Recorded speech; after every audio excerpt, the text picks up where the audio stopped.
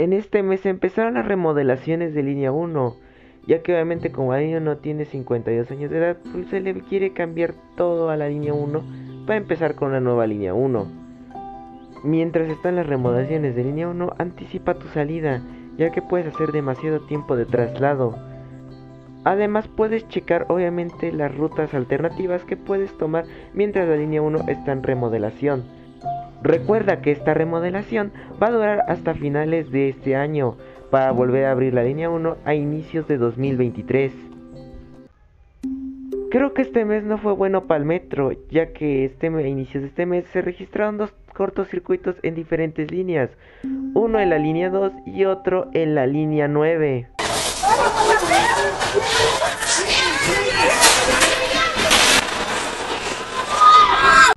Este usuario en vez de ir para cuatro caminos fue para cuatro pisos. Eso es lo que se trata de evitar. Cayó este joven por, eh, pues por fortuna. Joven, ¿qué le pasó? No alcanzó a... No, es que nomás iba con un pie. Con un pie, sí tenga mucho cuidado porque... Tras el cambio de material rodante en las líneas del metro, pues mucha gente obviamente pues ve las iconografías de esos trenes que no pertenecen a esa línea. Y pues ha aprovechado para hacer memes como el que estamos pasando en pantalla.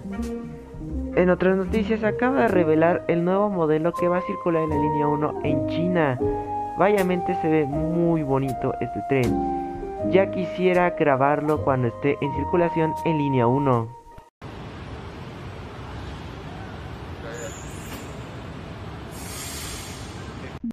En otras noticias, unos chavos, este, ¿cómo podríamos decirles? Este, babosos, se treparon arriba de uno de los vagones en línea 9, arriesgando su propia vida. Vaya, vaya, este, no sé hasta qué grado llega la, la, digamos, la influencia de los influencers. Pero por favor, amigos, no lo intenten en casa o podría acabar muy mal.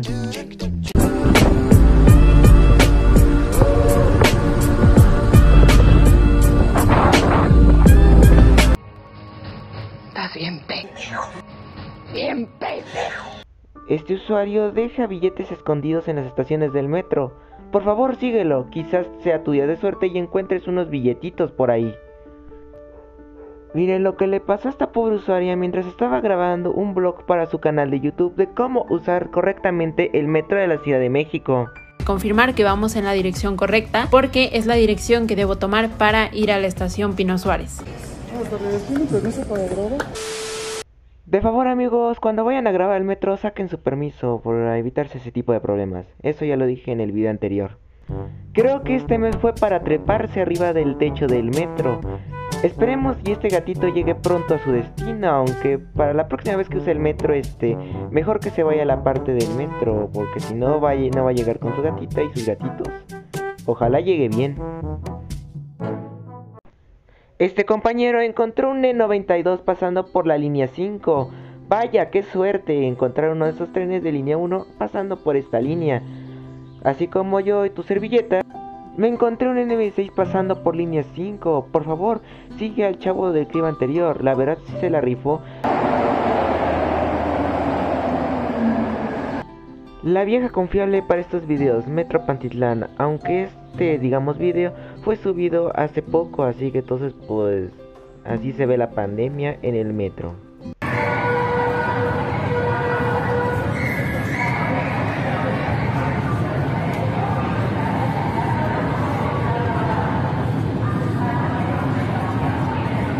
Y para finalizar con este video, pues nuestro compañero Julio Guerrero grabó pues este las rutas alternativas del metro para la línea 1 y hasta midió tiempos, vaya, buen trabajo Julio. Ojalá te hayas encontrado a la pequeña Dashi y a Trenfurro XD.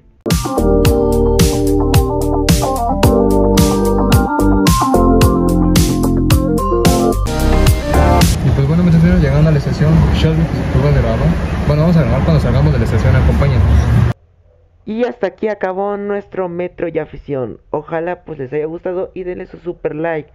Recuerda que si quieres mandarnos un clip de tu momento impactante en el metro, ya sea de cualquier día que lo hayas grabado, o pues de cualquier cosa que haya pasado en el metro y que la hayas captado por cámara, recuerda pues mandarla al correo electrónico que está en la descripción, mandar un link o mandar el video en sí. Estaríamos demasiado agradecidos y además de que podría salir en un futuro video de esto de metro y afición. Esperemos que les haya gustado el video y nos vemos en la siguiente ocasión.